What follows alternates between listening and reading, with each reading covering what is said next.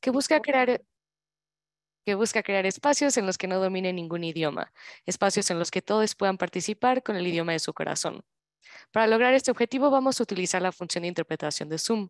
Lo que verán en un par de minutitos es que aparecerá un nuevo botón que parece un globo terráqueo en la barra inferior de su pantalla. En esa misma barra donde tienen el botón del chat, del micrófono, del video, etc. Estar hacia su mano derecha. Cuando vean este nuevo botoncito aparecer, hagan clic en él y seleccionen inglés o español como el idioma en el que desean escuchar y participar. Si usted está en esta reunión por medio de una tableta o de un teléfono, encontrará las mismas opciones haciendo clic en el botón que tiene tres puntitos en la esquina inferior derecha de su pantalla. Este botón dice More o Más.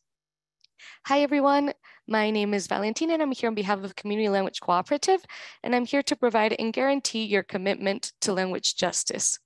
Language justice is a type of simultaneous interpretation that seeks to create spaces in which no one language is dominant, spaces in which everyone can participate with the language of their heart. So to achieve this objective, we will be using Zoom's interpretation feature. What you will see in a couple of minutes is that a new little button that looks like a globe will appear on the bottom bar of your screen. On that same bar where you have the mic, the video, the chat, and all of those other buttons, it'll be towards your right hand. When you see this button come up, go ahead and click on it and select either English or Spanish as both the language that you will be listening into and speaking into. If you're joining this meeting on a phone or on a tablet, you will find the same options by clicking on the button with the three little dots on the lower right-hand corner of your screen. This button reads more. A quick reminder for those of you that will be using English as their main language for today's uh, meeting, Spanish is 20 to 25% longer than English. So please be aware of your speed. And if there's any text that hasn't been translated in advance of the meetings in PowerPoints or elsewhere in the chat box, wherever, please um, read out loud the main parts, or we suggest that you read out loud most of the text so that I can interpret it in the other language so that no one misses any, any of the content. If you're gonna be using acronyms, please uh, spell them out the first couple of times to avoid any confusion among the listeners or myself. If you have any questions or any issues whatsoever with this technology, please let the whole group know by means of the chat box. Un breve recordatorio es que la interpretación es simultánea, entonces por favor recuerde mantener un ritmo de conversación cuando participe. Si tiene alguna pregunta o algún problema para con esta tecnología, por favor comuníqueselo al grupo completo a través del chat para que lo podamos resolver juntos. Muchas gracias por tenerme por aquí. Vamos a activar los canales de interpretación. Thank you so much for having me here. We can go ahead and start the interpretation channels.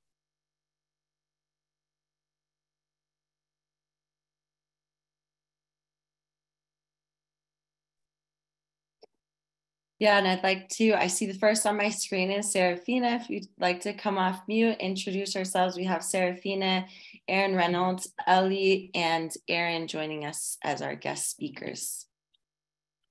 Thank you, Anna. So glad to be here with you all. Good afternoon. I'm Serafina Lombardi. I come from a long line of subsistence farmers, and I'm still farming in Chimayo, New Mexico with my family. I used to be president of the Santa Fe Farmers Market, helped found a local vegetable growers co-op, and for the last 10 years, I've been serving uh, the New Mexico Acequia Association as our program director. And I came to this work specifically to help our local Indo-Hispano communities access uh, NRCS and FSA programs. That's the Farm Service Agency for FSA and NRCS is Natural Resource Conservation Service. Um, I got a high tunnel through a NRCS program back in 2011. And since then, I've been really happy to help others access these opportunities. Glad to be here and I'll pass it back to you, Anna. And Aaron, if you'd like to introduce yourself.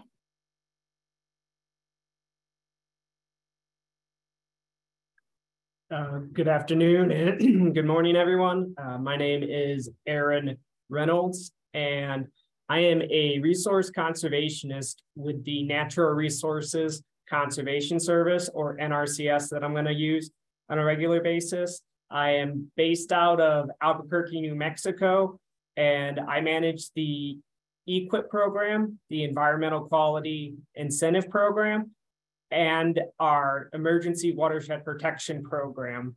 Um, but my position is just specifically in the state of New Mexico, and it doesn't vary in other states. I have other counterparts in those states that do the exact same thing I do.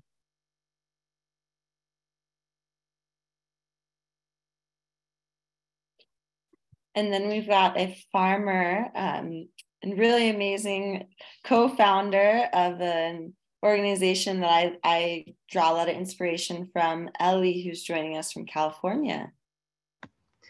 Hi, everyone. Thanks so much for including me. My name is Ellie Igoe. I join you from San Diego um, and the land of the Luiseno, um, and or also known as, as the Payomachia and that we are fortunate to rent our land from and exciting to talk to you about today, um, today about NRCS and other programs that we've used to um, make our farm more resilient.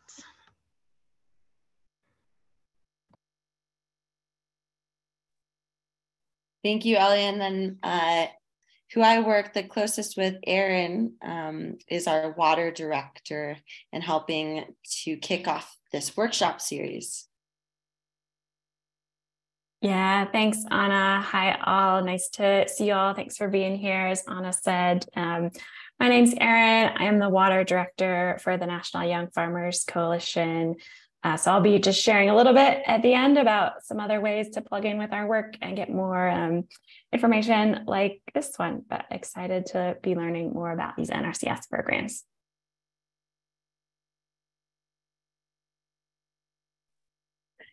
And without further ado, I am going to share just really quickly so you can all see the run of show today, our agenda. Um, we will dedicate a lot of time today to question and answers. If you have questions along the way for speakers and it's relevant, something that's top of mind, feel free to put those questions in the chat. Uh, I will make sure if the speakers can address that question immediately, that that is a question um, that I'll keep as a log and we can come back to in, during the question and answer part of our agenda. Um, and I will also be helping our speakers keep track of time and uh, keep us moving. Um, so very quickly, and then Serafina is going to get us started um, engaging all of you with a few questions. Our agenda is going to start with Serafina, and then we're going to have a few presentation slide decks shared um, that will all be sent to you later um, in an email. Um, so any of the information that you see today, you will have access to later on. We will also make sure to share our contact information. That way, if you have any questions that don't get addressed, that you will have a way to follow up with each of us after. Um, so today, we've done our welcome and introductions. Um, I'm going to go into why NRCS, share a little about who, who and what NRCS does. Uh, here's some testimonials from Ellie. Um, really give an overview of some of the existing programs in NRCS. Then we'll have time for question and answers and introduce our larger water campaign at the end and wrap up. Um, so without further ado, I am going to stop sharing my screen and hand the mic over to Serafina. Thank you, Anna. I got the mic. So um, I have to give a big shout out to all the New Mexico people out there. I saw Miss Adriana. I see some Samia people. What's up? New Mexico special. We're all special on this call, but in Mexico's extra special. Um, so I'm really curious for all of us to get a little sense of what experience anyone here has had with any USDA programming in this bucket. So United States Department of Agriculture is the big department that the NRCS, Natural Resource Conservation Service, is under. Um, and so I'm hoping folks can use the raise hand function, which is in your reactions. If you see a little smiley face emoji, you can click on it and it'll give you a raise hand and a lower hand. So we're gonna go up and down a few times. Um, but just wanted to jump in and say who here has registered, signed up with the Farm Service Agency? Yeah, let us know right on. So that's the FSA, Farm Service Agency. It's an acronym that's need to know in the conversation we're having. And they're the first step to being able to access NRCS programming. If you don't sign up and get a farm and tract number with the Farm Service Agency, and there's a local office in not all counties, but many counties, and I'm sure we'll throw up in the chat a link to how to find those. Um, you can't apply for any NRCS programs. And there's a whole other bucket of support and assistance that comes to the Farm Service Agency that we're not going to talk about, but good for you, everybody who signed up. You can lower your hand. Awesome. Congratulations. You have taken, you've opened the door to opportunity by doing so. You've also ensured that your farm gets invited to be counted in the ag census which in New Mexico, we're super undercounted as small, rural, largely Indo-Hispano farms. And just like with the regular census, it can impact the resources that go to our regions. So there's an equity aspect and, um, you know, for this group, beginning farmers, we want beginning farmers and ranchers counted too. So I think you got my point on FSA. Here's the next question. How many here have ever applied to NRCS. It doesn't mean that you received a grant or it's not a grant. You're not supposed to use that word cost assistance. But okay, right on. My dogs are gonna go crazy now. Great timing. Neighbors dropping by and honking at me. That's all they're gonna get is dog barks. Let me mute for one one second.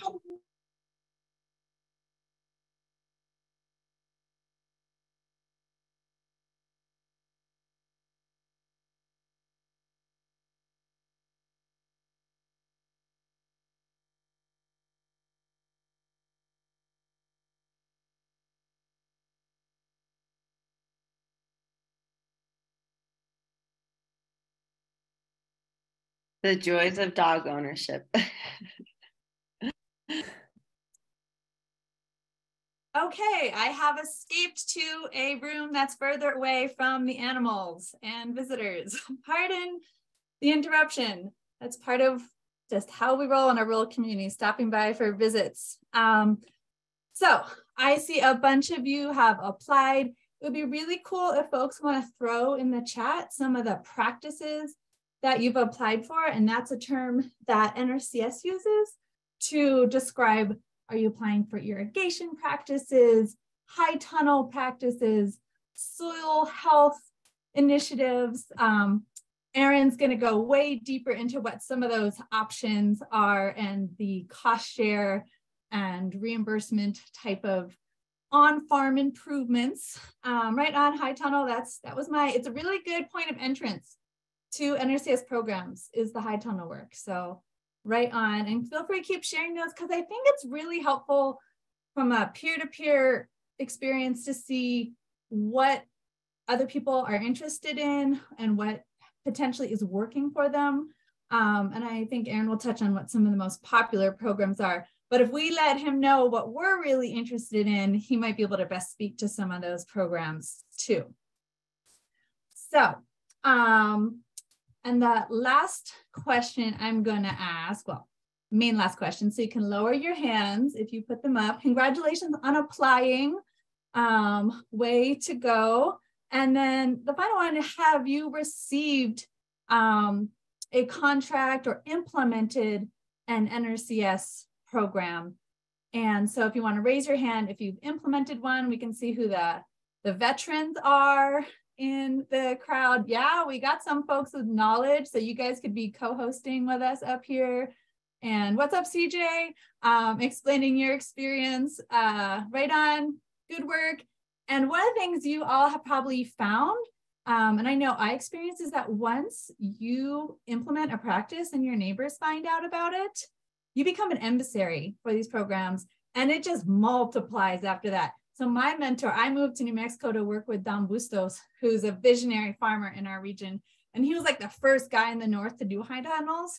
And then he did them and I did them and they're just like multiplied. And we see it in our arid um, high altitude climate as like a climate change, adapting to seasonal change um, strategy. So we've had a lot of fun. I don't love the plastic part, but we've had a lot of fun replicating that and creating a lot of farmers market opportunities for folks. Um, and then lastly, if you haven't applied and you don't even know what the programs are, but just, you know, what's the kind of support you're looking for on your farm that you think brought you to this workshop? You know, what what is it that you have a need for um, that you're hoping NRCS might be able to address?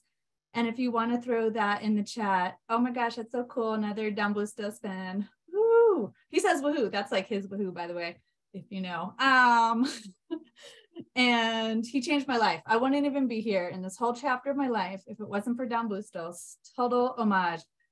Anyhow, that's a longer story than we're here for today. So um, thank y'all for your input and your sharing and just like your engagement, like you're doing it and way to show up to this workshop just to get any tips and tricks you can. Um, I want to talk briefly about why the New Mexico Acequia Association. And if you don't know the word acequia, that's a traditional irrigation canal that's communally run. We're a local political government, and I'll leave it at that. um, but we work with farmers across the state to protect our water rights, our cultural traditions, and grow healthy food for our families. And um, we're doing this work really honoring and as a part of the legacy of Southern Black farmers who stood up and addressed injustice, systemic discrimination within the USDA, um, United States Department of Agriculture, excluding a number of different um, communities. And in New Mexico, that was largely Indo-Hispano farmers and ranchers. In the South, in the case, the Pigford case that was settled in 2010, that was Black farmers across the country, but especially in the South. And so many communities, including women at times, have been historically marginalized, marginalized and kept out of these programs. And that funding and support for our farms and ranches was denied. NMAA gets a grant from the USDA to do outreach into um, historically underserved communities. And NRCS has changed a lot, even in the last decade or two. And we have some awesome folks in our local county offices who look and experience more of what our communities look like, as well as NRCS being a national org. So we have movement from across the country with folks who understand and are allied with local farms um, and ranches. So for us, it's part of our social justice mission to ensure that our communities who have in so many ways um, been historically disenfranchised feel like they have a seat at the table and have access to these programs. So we do a lot of what we call handholding to get people their farm service um, registration done and to apply for these programs and to some lesser degree implement them. We also, um, we just went through a historic and tragic wildfire season in New Mexico and we know with climate change, whether you know you're in the midwest and you're getting flooding these climate disasters are coming and they're coming hard and they're hitting farmers and ranchers particularly hard. Um, so we realized more than we ever had that ewp program emergency watershed program aaron referenced you you want to be a part of the system if you want to access a lot of the disaster assistance. If you lose livestock you need to be registered with the farm service agency for the livestock indemnification program, and I could go on. So registering with Farm Service Agency is an important step to being prepared for disasters um, and for some degree of relief, but also for some programs that can help mitigate and make us more resilient to disasters that come. Um, and in general, we think there's a lot of great strategies. We're for anything that helps our local farms be more viable for us, um, growing food for community is a very deep value and something we really still depend on in northern New Mexico. Um, but we also think the practices NRCS offers, offers can be useful in climate change adaptation overall. Um, I think the last few things that I would mention is that it is paperwork, it is bureaucracy. It's really none of our favorite things to be in the system and have to kind of follow um, the specs um, that are exterior to us. But I really encourage you all to explore um, the offerings, to reach out to your local county offices, both of the Farm Service Agency and the NRCS, in order to establish relationships, create a site visit. That's the number one after you do FSA. It's all about getting a site visit so you can learn more about what might work on your farm. Your local NRCS rep is an ally and someone who's there to give you technical assistance, whether or not you want to apply for any programs, to get feedback, to get support. Um, and so we just really encourage everyone to know the ins and outs of a contract before they're signing it. I have lots of thoughts on that. Um, and you know, then just go ahead and once you feel confident, jump in two feet first. But I think one of the best things is connecting with folks locally who've done a similar program and gaining lessons learned from them. Um, so with that, I just wish all of you a bountiful, happy, safe growing season, that you find all the resources that you need. And if you are a farmer or rancher um, off in Asahi, New Mexico, the NMAA is here to provide more detailed technical assistance. I'm looking forward to the rest of the meeting and potentially supporting with any questions you all have. And now you've seen my bathroom while we're at it too. Thank you, Serafina. And um, if you could please put your contact information in the chat. Um, we also have a New Mexico NRCS staff here, Aaron, who's going to share a little more for those of you who may not be as familiar with who the Natural Resources Conservation Services is and what they do. All righty, thank you. So I'll go ahead and share my screen.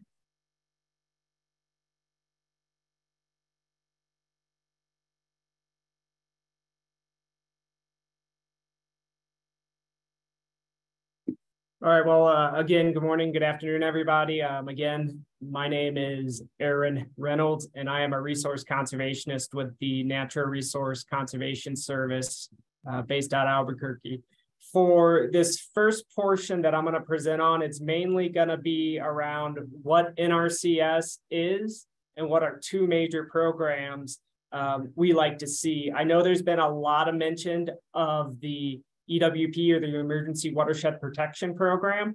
And um, at the end of the presentation, I can mention what that program is because it is significantly different than any of our other programs that we offer to people. And it's mainly based around natural disasters, um, fires and floods and things of that nature that pose a threat to human life and property. But uh, at this point in time, I'm not going to go too much in depth on it. Um, so my contact information is on the slides and these slides will be shared with everyone, but I can also put my contact information in the chat for people. Um, so um, just giving a brief introduction about myself. Um, I've been with the agency going on 12 years now. Um, I've actually worked in multiple states. So I'm originally from Wisconsin, where I grew up on a small farm and started with NRCS in the Midwest. Then I actually moved to Colorado and um, I, I worked out on the Eastern Plains on more conventional agricultural operations. And then I moved to New Mexico, where I eventually ended up in Albuquerque as a resource conservationist or program manager. So uh, for those who don't know, NRCS is an agency within the United States Department of Agriculture. So this is a federal agency. And um, very commonly, we work with a lot of conservation districts locally in areas and other uh, organizations that assist farmers and ranchers to improve their uh, operations. But um, NRCS, with the Natural Resources Conservation Service, provides landowners with technical assistance and advice, advice for their land specifically. And one of the things I always like to mention to NRCS staff and also the landowners is that those local landowners know their land better than anybody else. You know, we just come in and try to help them improve their land and continue what they're trying to achieve on that land. So NRCS provides uh, common technical assistance in the area, will assess resource resources, and then will also come in with uh, practice design and resource monitoring. Um, all of this is done throughout the what we call the conservation planning process. And um, you know, it's a very fluid motions and it changes depending on what the needs of that landowner are. So that's just briefly where NRCS comes in is that we're a scientific, scientific and technical based agency that will assist, uh, you know, landowners. And again, I'll get it more into the details of who's eligible and what are the requirements for our programs. But there is financial assistance to implement a lot of these programs. So um, for those who don't know, um, NRCS used to be called the Soil Conservation Service, and the roots of NRCS is um, based in the 1930s and the Dust Bowl. So if people um, can recall back to their um, history courses, the Dust Bowl was a time in American history where there was a lot of tillage occurring and soil in the air. And, um, you know, the president at that time so FDR actually saw the need to implement um, conservation nationwide. And thus, that's how NRCS was born. Um, NRCS has evolved and I should say changed tremendously in recent years. And now our focus has expanded to um, soil, water, air, plant, and animals, or our soil resource concerns. So um, it's a much different agency and it's a much broader agency than what it used to be. Um, so as mentioned, I'm gonna, the two cost share programs that we have through NRCS are the EQIP program and CSP. So in simple terms, um, because we don't have enough time to go in depth on all these programs, so I'm just gonna give a brief summary of what each one of these programs are, and then we can build from there. So the first program that I'm going to mention is the Environmental Quality Incentive Program. And uh, we call it short, we call it EQIP as its acronym. And it provides technical and financial assistance to producers to address uh, natural resource concerns, deliver environmental benefits through conservation practices to protect soil, water, air, and other natural resources concerns. And in simple terms, the way you look at this is EQIP treats specific concerns. And I'm going to provide a few scenarios of how EQIP is used, and then eventually our um, guest presenter that has actually implemented this can describe how they installed these practices. So as mentioned, EQIP is very specific. You have one resource concern that you're trying to treat. So um, one of the common uh, comments that I saw was a lot of people utilize them for high tunnels. And when high tunnels are installed, which um, I guess real briefly what a high tunnel is, a high tunnel is a structure that is covered in plastic that extends your growing season. So you can start, for example, your cool season crops earlier or get some of those warm season crops to go a little later, depending on what you need them. So through EQIP, um, you could receive cost share on the high tunnel itself, the irrigation inside that high tunnel. Um, there are some specific requirements on the irrigation and what's needed to meet the installing irrigation, but you could have the irrigation, you could have nutrient management, which is testing your soil and getting an idea of you know how how much of nutrients do i need in my soil to achieve my desired um, yield goal and then also um, there's things like pest management to manage uh, disease and other pests that could damage you. And then also one called irrigation water management to better manage your water usage on your property. And you know that's just one specific example of how EQIP could be used for this. Um, you know, eventually I'll talk about some of the land uses that EQIP could be used on, you know, because it can range from forestry, it can range from rangeland, pasture, cropland. So there's a it's a variable program that gives you a lot of flexibility depending on what your specific needs are for this program. Um, then the next program I'm going to mention, and this isn't one of the programs I manage specifically, um, but it's called our Conservation Stewardship Program.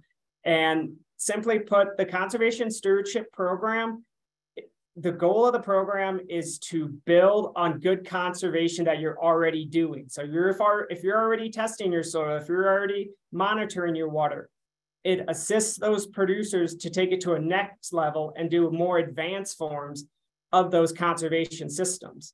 And specifically on the CSP program that makes it unique is in order to be eligible for CSP, um, you have to sign up for five years at one time.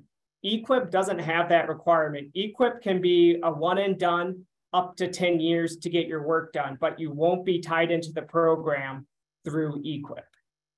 Um, and then that's going to be just a pretty good summary of the programs. Um, eventually, I will talk about some of the eligibility of the programs and what all goes into um, actually signing up. So I'll go ahead and hand it off to the next presenter.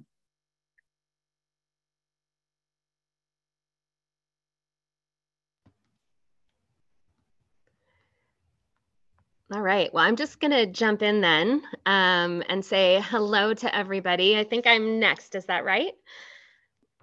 um, all right. So my name's Elle. For those of you that weren't on the call yet, um, I'm from Solidarity Farm. And um, I am going to share my screen so that you guys can see some pictures of um, what we do. All right. So what I'm excited to talk to you today is, is how we've leveraged NRCS and combined it with other resources to make it really work for our farm. Um, and just want to start by saying that, you know, Solidarity Farm is a modest sized farm. Um, we, we produce um, diversified fruits and vegetables and we collaborate with our neighbors um, through a small farm distribution company called Food Shed. Um, and you know, we, um, well, we farm probably at any given time about five out of those 10 acres, and we've been doing it for about 10 years. Um, so I'm going to start just by telling you guys a story about a really important year, which was 2017. Um, we, you know, had just really gotten our feet under us and had had crops in the ground and were selling commercially, and our kids were involved on the farm. Um, and we had a heat event that was about 122 degrees following a winter of severe freezing. And um, we understood that if we didn't get serious about um, really investing in our soil and figuring out how to be more resilient, that we were not going um, to be able to continue farming.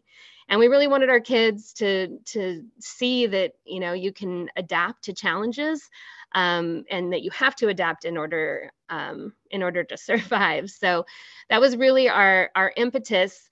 And so we came up with these four goals. Um, and I also really quick want to give a shout out um, about that time. Um, we had a um, a intern or an apprentice come to stay on the farm named Andy Williamson, who's on the call today, um, who really pushed us also to, to try out some of these practices. So um, I just want to acknowledge him um, and how important he was to us. But we decided that if we wanted to keep farming, we really need to, needed to invest in four things, right? We needed to keep our soil covered. We needed to improve water delivery efficiency. We needed to reduce evaporation that was caused by wind. And we needed to buffer against cold and heat events with better infrastructure. And, and that's a picture of the barn that was toppled by the winds that um, we get these winds called Santa Anas out in, in San Diego. And so um, we really, you know, it was that same year that that barn fell down. Um, and so just sharing that the impacts um, that pushed us were pretty severe. I realize I'm talking too quickly. I'm going to slow down for interpretation. Um, and so in our need, in our desire to address these four, um, these four issues, we looked around for allies and resources. Um, and obviously today we're gonna, um, we're talking about NRCS, um, but I just want to acknowledge that there were three other resources that we, we really relied on.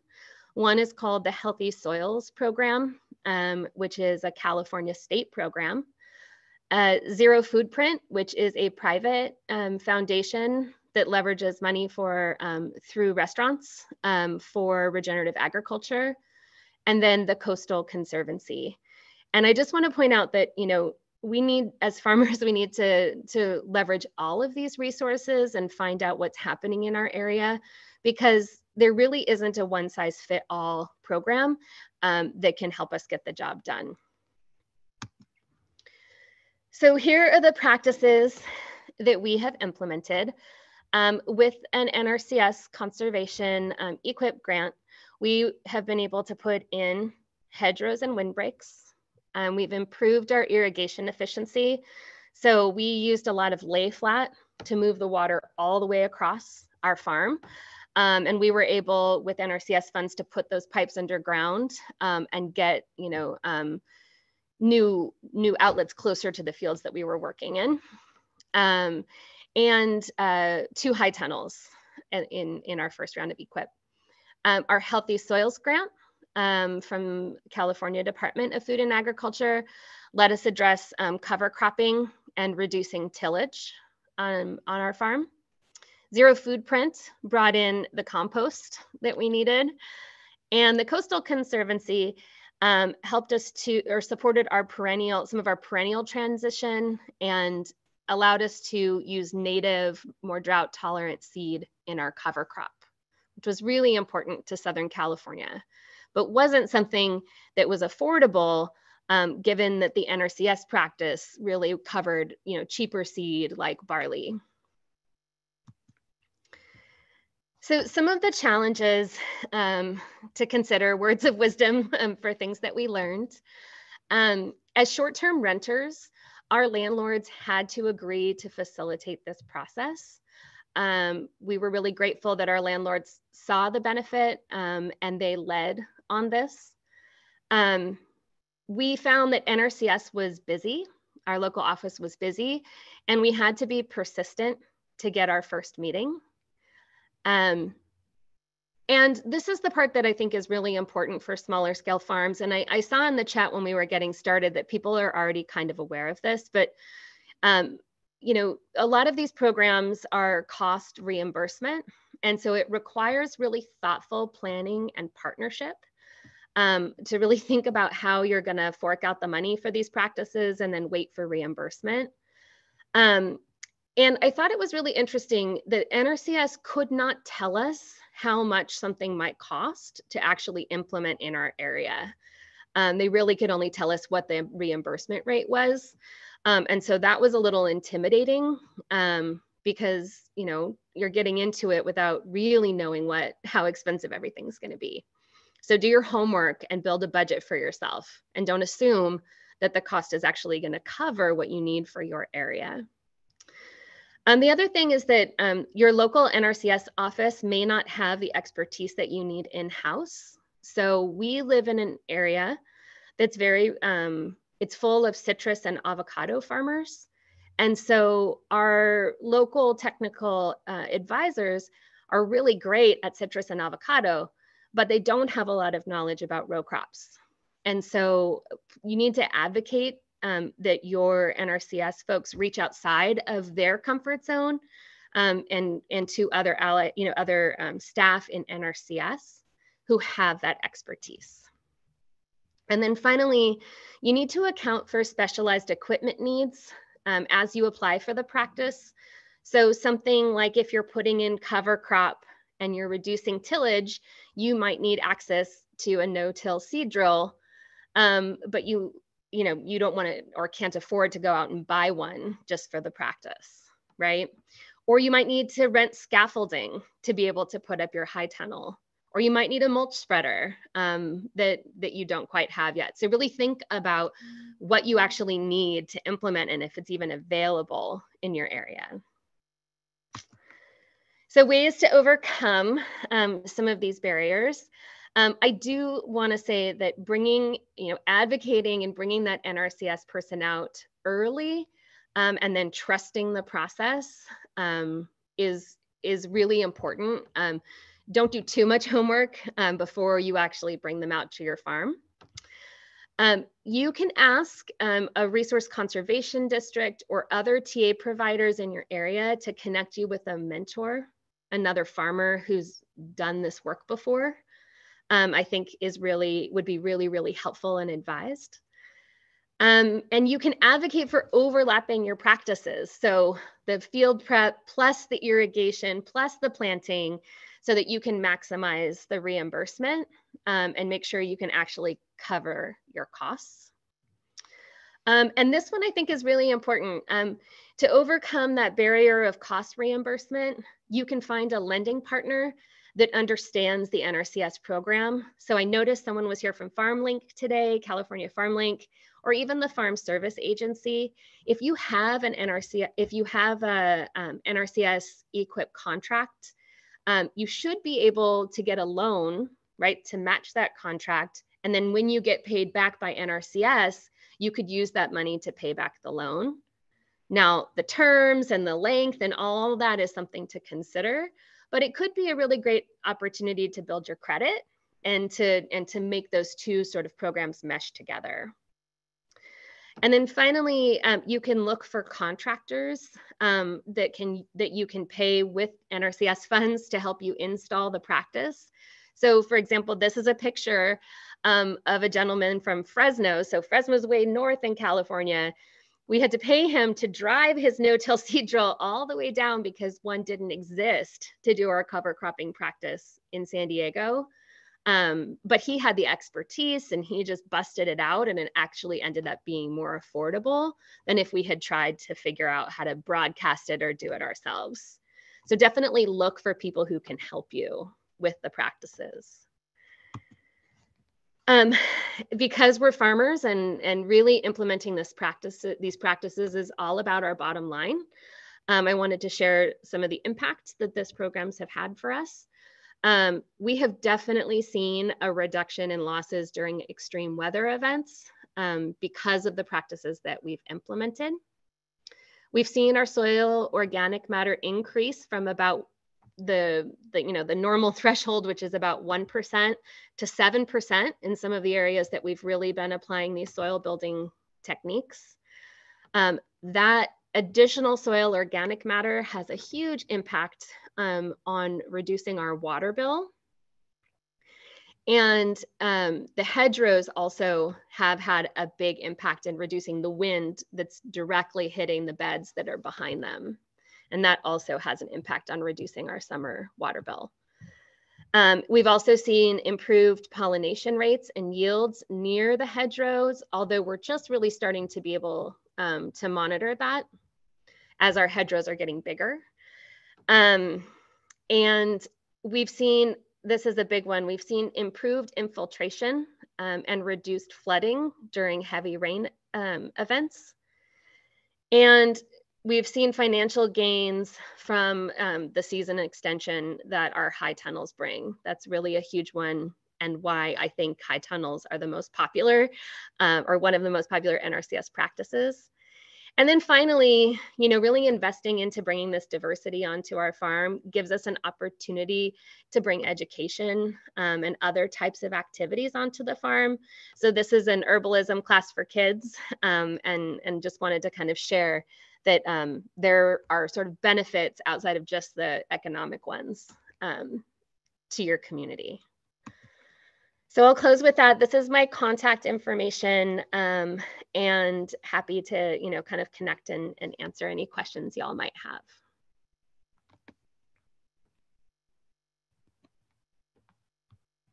Wow, congratulations. Those are some really huge successes to uplift. Um, and more specifically, wanted to go into a few of those programs, some that uh, Solidarity Farms using, others that you've heard mentioned. Um, and also, if you're having any trouble keeping track of the different acronyms being thrown around, I did post in the chat a key uh, acronym sheet as well as steps for receiving USDA assistance.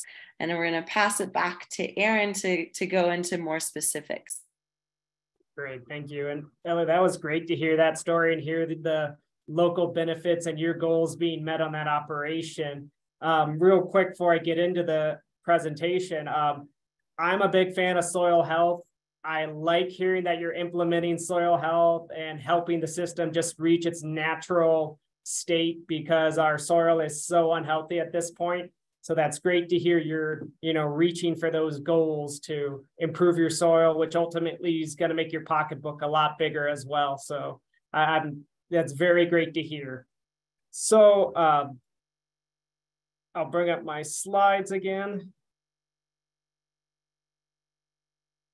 Um, and I, Elliot was talking about the high tunnels. This was a high tunnel I actually worked on in New Mexico um, in Southwest in the Gila that we installed for him. And you can see the benefit this is having for him specifically. So um, what I'm going to review today is I'm going to briefly review the um, application process through NRCS. There is a link that does go a bit more in depth that you can follow that's been posted in the chat. Um, and it just explains all these different sections from the planning, application, eligibility, ranking, and then the implementation as well. And I'll mention a little bit about the implementation towards the end of this presentation as well and how the reimbursement program works and some of the things I like to recommend to a lot of the farmers to implement the practices and uh, not go belly up and afford to do the good the good conservation work as well. Um, so as mentioned, um, almost every county has an NRCS office in there but there are going to be a few scenarios where there's not an office there. And with how NRCS programs work, it's very personal and it's based on your operation. So we need to go out to your operation really to help you. You know, we can talk to you at our desk and say, here's what we think you need, but we ultimately can't make that decision until we go out to your specific farm, ranch, or, you know, forest stand.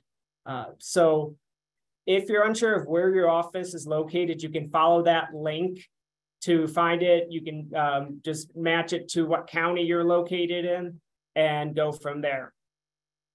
Once you find where your office is located, you can then fill out a uh, C, what we call a CPA 1200, or for simple purposes, it's our application that you can fill out. And you can actually go into the office and fill it in at the office. And we can make sure we can kind of line you up, make recommendations of, you know, how who you need to go and see and where you would need to go.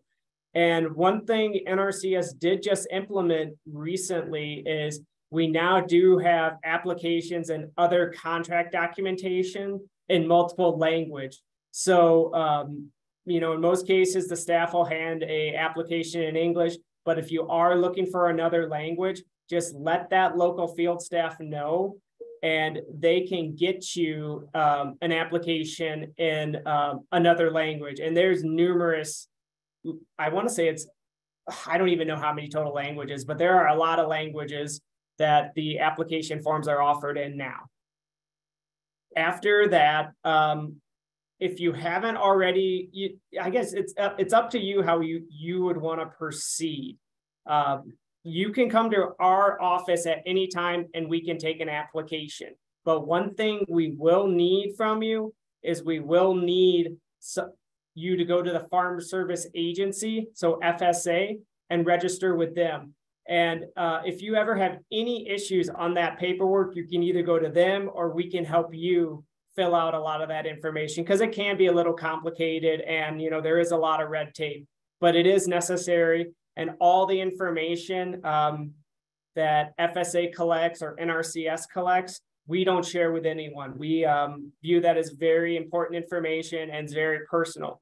So when you apply you don't need to worry about uh, any identity theft or anything like that because we will protect your information and we're not going to share it with anyone else uh, around the country.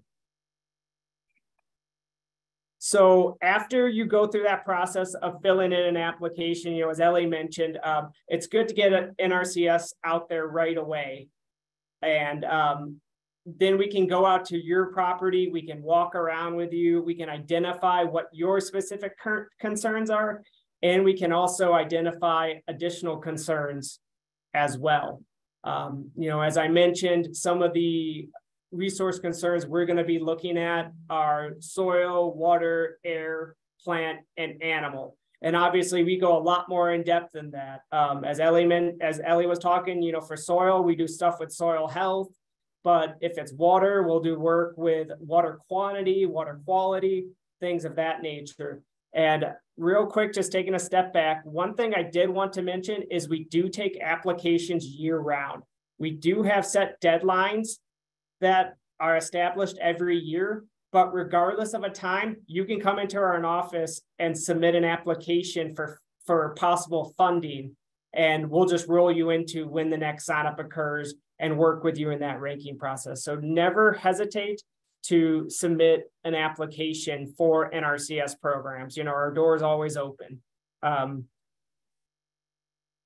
so going into the programs, and these are true with any of our programs, uh, whether it be EQIP or CSP. Um, who is eligible to apply for our programs? As you can see on the screen, it varies from an individual just based on your social security number. It could be a legal entity if you're in a corporation or a partnership.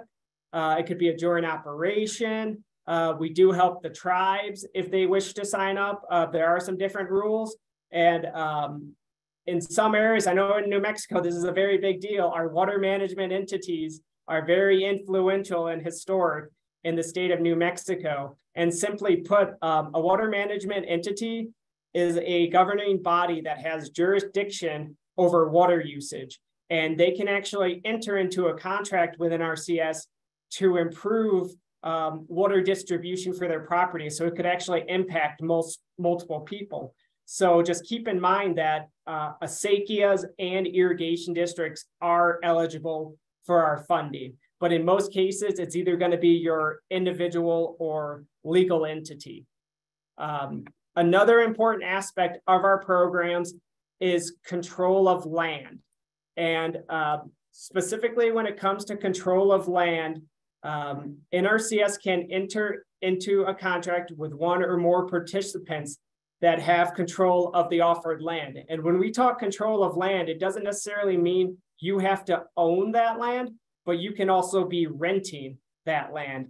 And then also, depending on how you're planning your contract, you don't have to show control for the entire length of the contract. So if you're in a year-to-year lease, like a lot of uh, renters are, um, we you can update that lease every year and still be eligible for contracting. So don't feel like you wouldn't be eligible if you don't own the land or you don't have, you know, a five-year lease. That doesn't matter. We look at um, control of land every single year.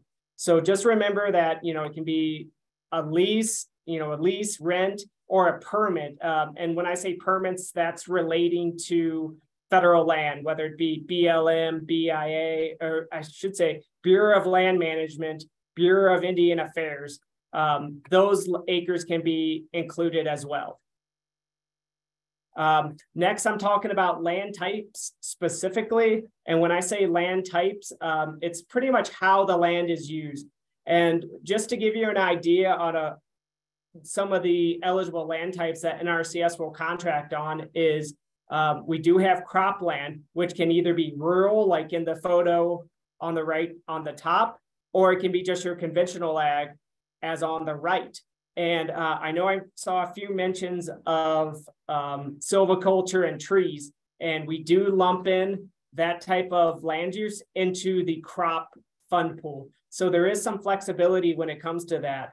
Um, a few of the other eligible land uses are pasture, which is irrigated and grazed by livestock, rangeland, which is grazed by livestock, which is a term used in the Western USA for where the cattle graze.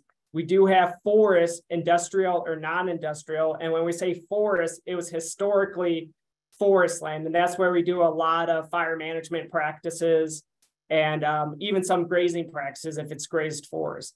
And then also uh, associated ag land and farmsteads.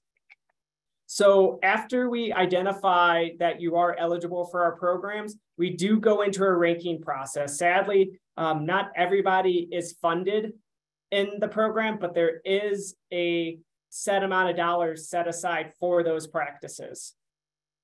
So I won't go in depth because there's a few other things I want to review um, later on. And specifically, it's on what we call historically underserved applications. And when we use this term, it, it's members of groups have been his, historically underserved or um, have been subject to discrimination in federal programs. So there's actually set dollars for um, these producers, and it's actually at a higher cost share rate as well. And a socially disadvantaged individual um, or entity is a member, excuse me, individual or entity who is a member of a socially disadvantaged group. Socially disadvantaged groups consist of the following. So American Indians or Alaskan Native, Asians, Black or African Americans, Native Hawaiians or Pacific Islanders, and Hispanics. Um, sadly, um, just being female alone doesn't qualify for socially disadvantaged. These are just rules that were set in policy, but it's still important to know if you qualify for any of these. Um, another common one that I think we're going to see happening more often with urban agriculture is uh, beginning farmers. So someone who hasn't farmed or ranch for uh, more than 10 years. If you qualify for that, you actually receive a higher payment rate than you would normally. And then the veteran farmer and rancher is just um, a beginning farmer that has veteran status. Um, and then the last one is the limited resource farmer or rancher. And um, with direct or indirect gross sales, not more than the current index value in each of the previous two years, and who has a total household income at or below the national poverty level, level for family of four or less than 50% of the county median household income in each of the previous two years. So those are just some of the terms that, um, you know, it's important that you guys remember that you're eligible for those programs or eligible for those definitions. Um, and then I guess what we can do is I did provide a few links as mentioned. And if people have specific questions about um, the payment process, I can cover that uh, later on just so we can keep things rolling along. So at that, um, that's just a very fast rundown of our programs.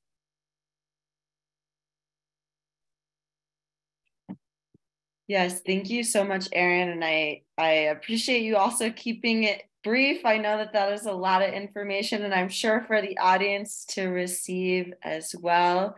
Um, and for our interpreter, um, who's asked us in the chat um, as we right now enter into the question and answer part of uh, this workshop. This is really for you all who've joined us, taking time out of your day um, if you have questions directly for some of our speakers or more generalized question, um, what you could do is raise your hand and then come off mute um, by, you know, the the the first to to raise their hands and we'll make sure to get through everyone.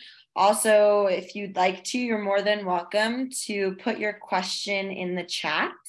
Um, and my friend and our co-presenter Serafina is going to help me keep track of all of the different questions.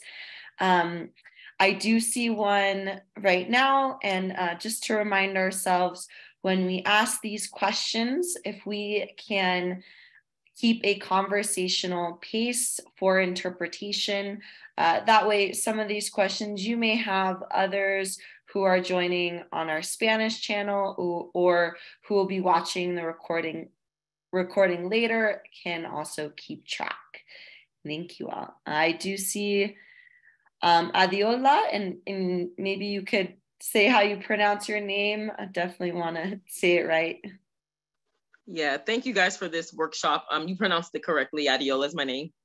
Um, and my question is, um, in regards to the last speaker, if he could answer this question.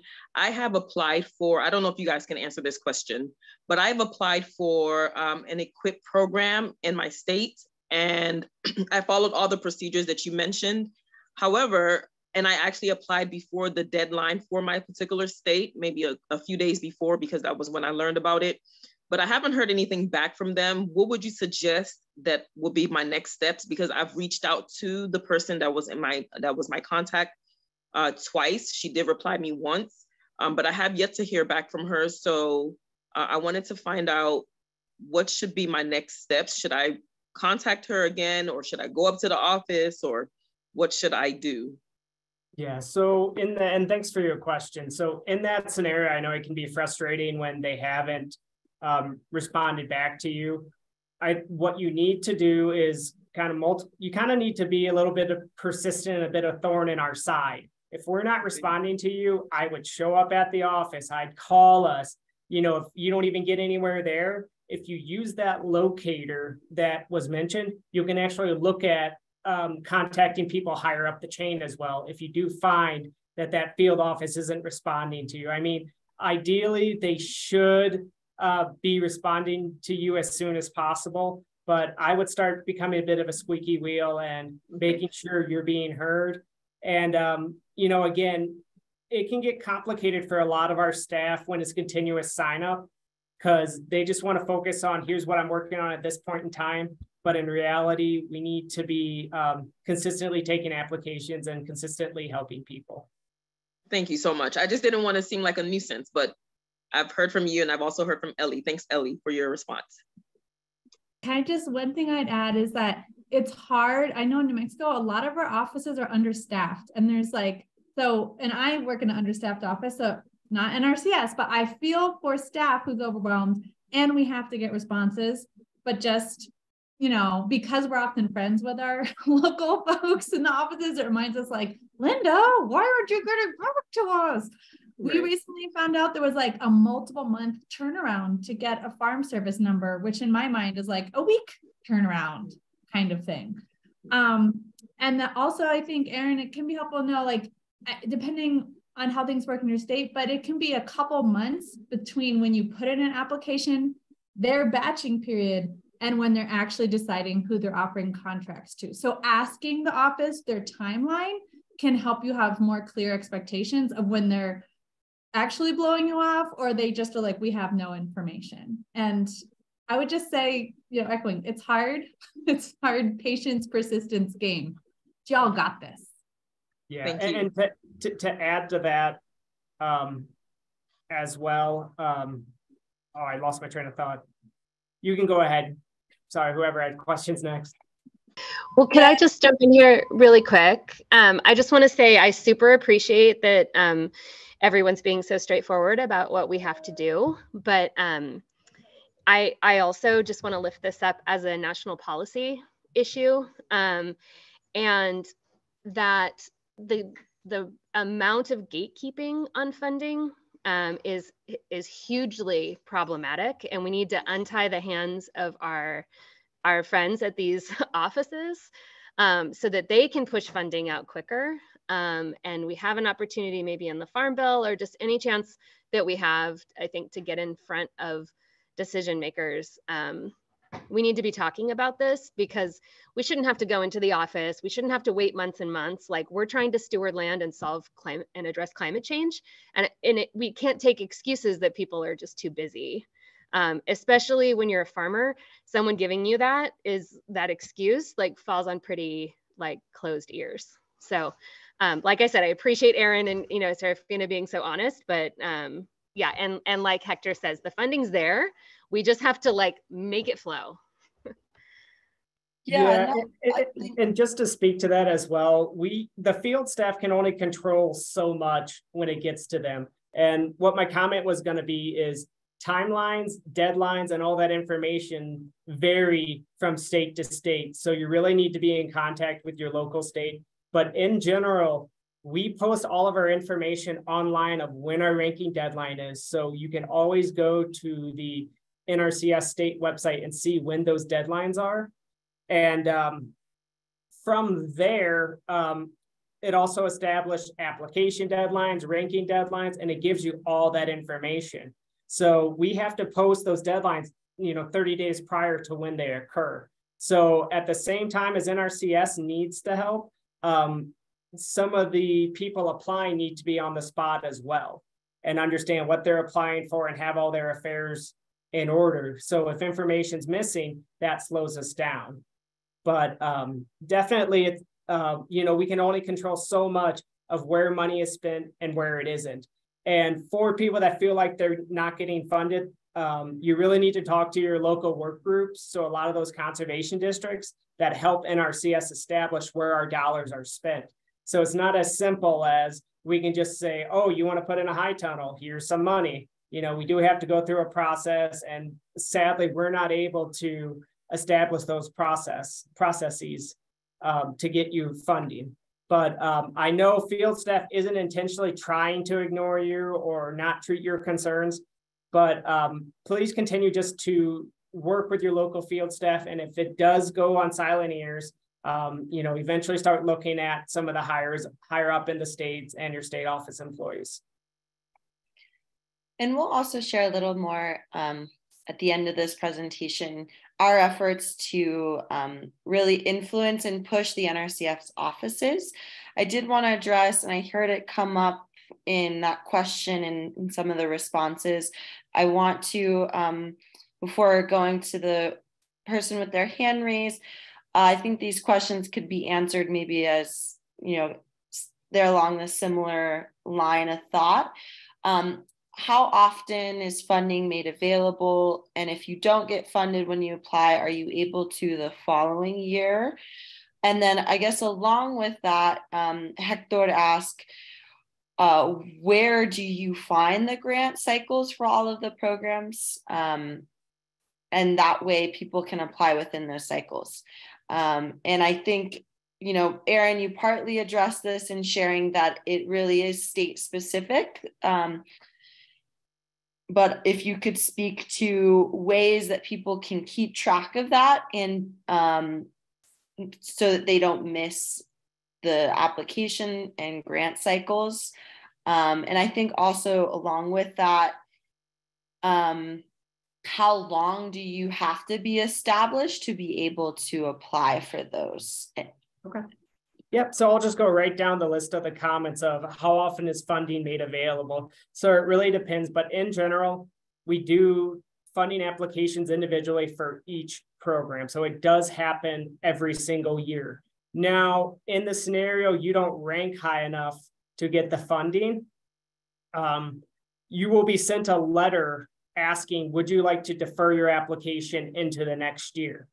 So if you do choose to defer that application, it will be rolled over into the following year.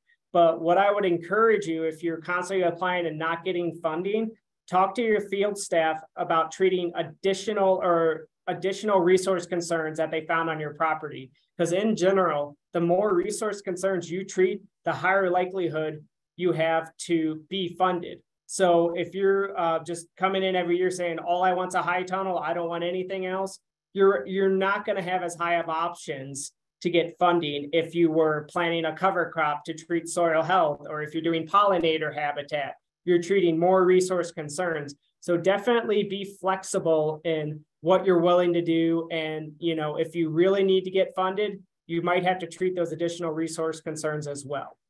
And then going into the next um, question was on the grant cycles. Um, we have a continuous sign up, as I mentioned. So bring your application to the office right away uh, when you want to apply for our programs. And then if you are curious about when our deadlines are, I encourage you to link to your local state NRCS website where we are required to post when our deadlines are. Um, it's a federal law that we let everyone know when those occur and um, you know they're publicly seen. So when it comes to um, officially established, we don't have any requirements on how long you have to be in operation in order to be eligible for our programs. Um, regardless of type of operation, the size of your operation, location, or the overall income of your operation, that doesn't matter. As long as you fill out our application, you go and get eligible with the FSA, you will be able to apply for our programs. Now, specifically when it starts getting into uh, work with irrigation, we do have to identify irrigation history, and you would have to have irrigated those um, acres for two out of the last five years. And specifically with that comment as well, when it comes to cropland, is it has to be active cropland. It can't be just grassland that you're going to farm. You need to be actively farming that land at the time you apply and then you'd be eligible for our cropland practices. So I'm just going to emphasize what Aaron said. If you're trying to break fallow ground and you want NRCS practices on that land, you do that first and yes. maybe wait a year. So when they come to the site visit, they're like, yeah, this looks like agriculture, as opposed yeah. to it looks like foul land I want help on.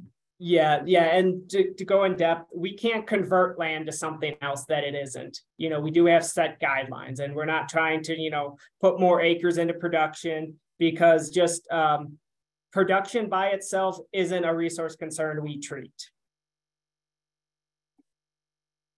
Great. Thank you. And we have a we have a hand raise if you want to come off mute. Hi, this is Chi Zhou. I'm the Equity Program Manager from California Association of RCDs. I, oh, I'm located in San Jose in California, Santa Clara County. And in our county, we have 130 Asian farmers. And most of those Asian farmers, are Chinese farmers, Japanese farmers, Korea farmers, and Vietnamese farmers. And we are talking about a group of people that is really isolated. They don't speak any English and they produce their produce and then sell to the local Asian stores. So there is no English needed for them to produce and successful for the farm. They have never heard about NRCS. They don't know those wonderful progr programs exist. So for the past three years, I was working as an extension specialist and I introduced this EQIP program to them and all of them are so interested and they want to apply. So I'm asking here, does NRCS have a uh, kind of a brochure or kind of flyer for different kind of programs and the eligibility in different languages so that I can send in this information to those group to the group of growers instead of me talking to them individually because I have my full-time job and I am too busy to talk to each farmers.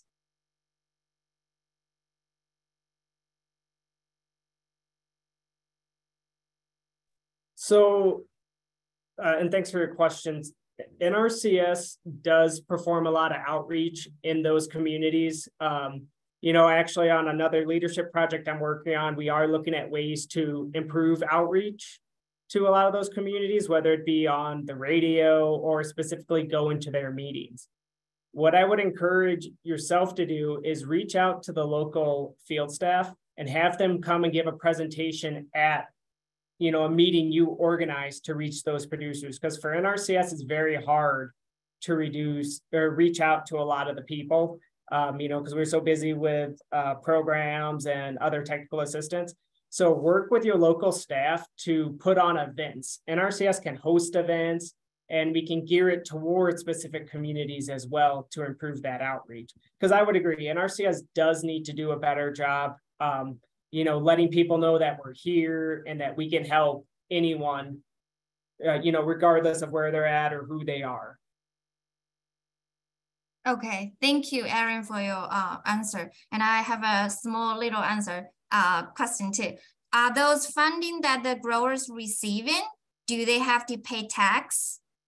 Yes, they do. Technically, okay, they okay. do. Got yeah. it, got it.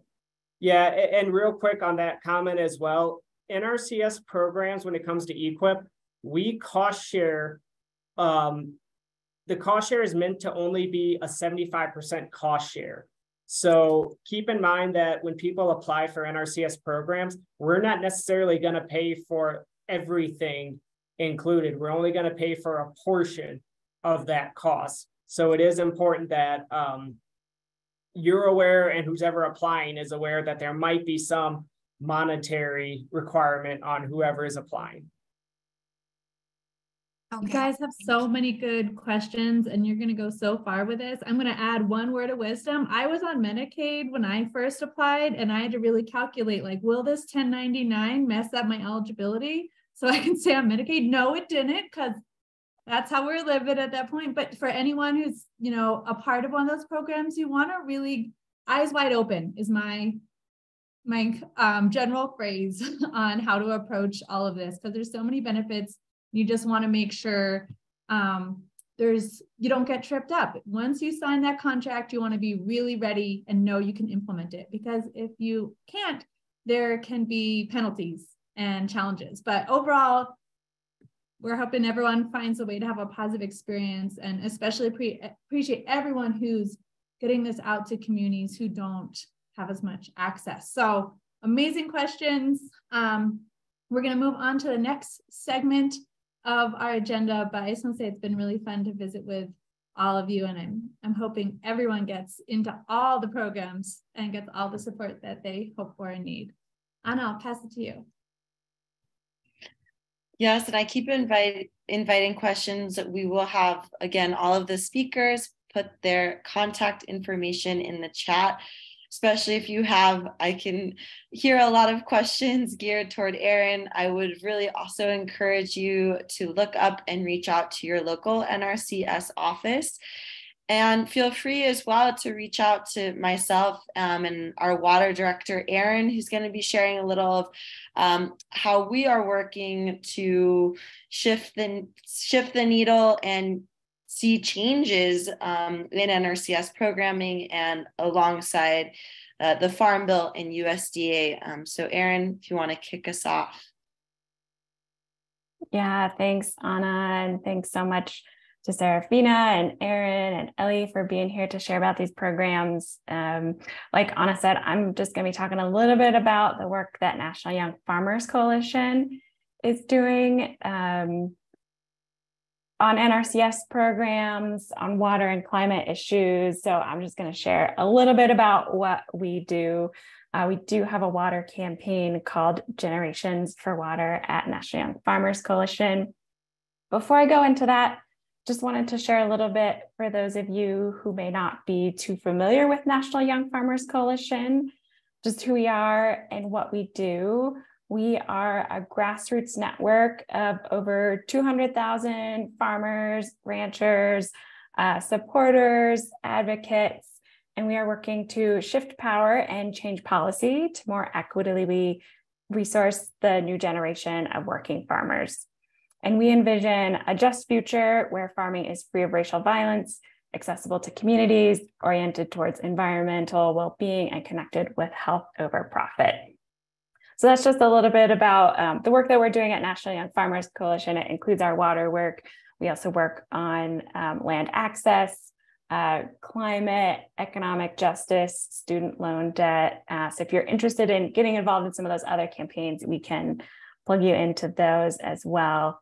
Um, but I am going to focus uh, just a bit on our water work, which is most connected with these NRCS programs. Uh, we believe that water systems should foster vibrant agricultural communities, healthy ecosystems, and water justice for Indigenous communities and other communities of color. So, when we're looking at public policy, we want public policy that's going to be protecting water for agriculture, supporting on farm conservation, that can serve and protect our clean water resources, programs like EQIP that Erin has been talking about, um, and ensuring access to clean drinking water. So we do this in a number of ways. Water issues can be super hyper local. It can be really international. It's global. Uh, well, we hear a lot the challenges that young farmers are facing are related to drought, flooding, and water quality issues. Um, so we work on policy, but we know that can't be solved through federal policy alone. So we also work to build farmer leadership. We put on educational events like this and form partnerships to support farmers to be leaders in water policy and conservations. So I just want to tell you a little bit about what that looks like in practice for our farmer leadership work. We run fellowship programs. I saw a few of our water fellows on here uh, to do more in-depth training on water issues at the state and federal level and support young farmers and ranchers um, and BIPOC farmers and ranchers to not just learn about these issues, but step into leadership positions where they can be decision makers on our water policy. We do educational workshops like this one. We've got another one coming up next week that I'll talk a little bit more about. Um, so if you just want some information on uh, what are the resources available to you, uh, we'll be keeping in touch about different educational workshops that we have going on. And then we do a lot of policy work. Right now, we're focused on the Farm Bill. I think Ellie mentioned that a little bit. Uh, the Farm Bill is kind of the big, big federal policy piece on food and farm programs that's happening this year. Congress is starting to rewrite that. Um, so we're going to be working a lot on Farm Bill advocacy. Um, and then we also work on um, access and accountability to USDA. So I heard a little bit of feedback here on how accessing those NRCS programs have been going. Um, so we can help with that, help hold USDA and NRCS accountable to the commitments that they've made and provide feedback on how those programs are working for young farmers. Um, so here are some ways that you can stay in touch with us. Um, this is our first workshop in a, a short series this um, this spring on how to use federal resources um, to support conservation and also manage risk when it comes to drought, floods, freezes. We're going to be talking more about those disaster programs next week. Um, Anna, I think he's going to throw in the chat the registration for that next workshop if you're interested in um, federal programs that can help you support you if there's a disaster. And then we're going to be putting on our third workshop on World Water Day. That'll be more celebratory, um, connecting, networking, and getting to know you all a little bit more in March for World Water Day. Another way to stay um, involved with us and is touch is work with us to connect with your local and state NRCS leaders Aaron mentioned you can connect with your field staff, you can connect with staff um, at the state level or federal level too. So if you have feedback that you want to provide on how those programs are going, let us know, and we're happy to help you make those connections. Um, we've got a few other resources. We have a national survey report that has more information on young farmers across the country, the water challenges that they're facing and how they're addressing those. Um, so check out our survey report. You can also share your own story. Um, if you don't see that included in the survey, Anna is awesome at helping you lift up your story, whether that's with local policymakers, your members of Congress, your local NRCS office, the press. Uh, if you have a story, story you want to share around water, uh, connect with Anna and we can help you do that. Um, we're also going to have some more fellowship cohorts coming up. I mentioned we do water fellowship programs um, to support farmer leadership. Uh, so keep in touch. We're going to have um, a new one we're planning to la launch towards the end of this year. And then uh, last, if you want to work with us, especially on Farm Bill advocacy, we have a place where you can sign up, uh, let us know, and you'll be getting more information there. And Anna's going to throw that link in the chat. Um, so that's the best way to stay in touch with what's happening at Young Farmers and with our water campaign. And just so you know who to talk to, um, we've got a small but mighty team on our water team. I'm our water director. Anna is our water organizer. And we also have a fellowship coordinator, Megan Davey, who I think I saw on this call. Uh, we'll throw our contact information in the chat if you want to be in touch. And I think that's all I have. Anna, I will pass it back to you to wrap us up.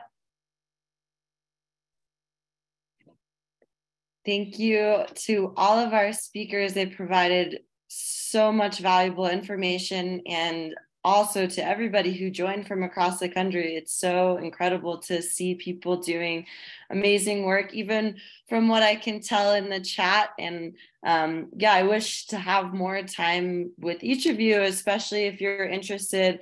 I hear a lot of feedback for NRCS, and they need to hear it directly from you.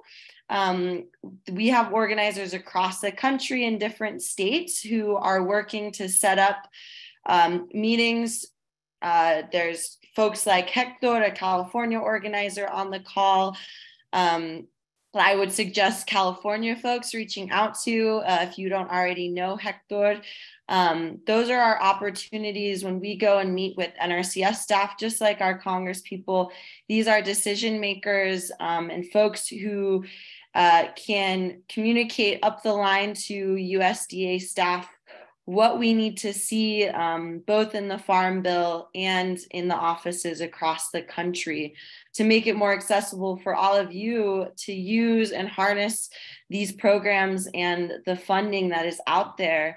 Um, and I hope that you all are able to, I hope this was uh, valuable information that you're able to walk away with. Um, and if there's questions, like I said, this is not our last opportunity to connect. Um, you have several times uh, my contact information, the other speakers as well. Um, if you'd like to stay up to date, we will have a newsletter. That link is posted in the chat. Um, as well. Uh, I encourage you all uh, to reach out to others at Young Farmers, those you've met on the call, um, and continue doing the amazing work. Uh, again, thank you all for joining us. And I hope to see you next week. Um, or, you know, to share, like I said, feel free to share any of the information and recordings from this workshop with others you think will benefit. Um, good luck with all of your endeavors, and I hope you all have a beautiful rest of your day.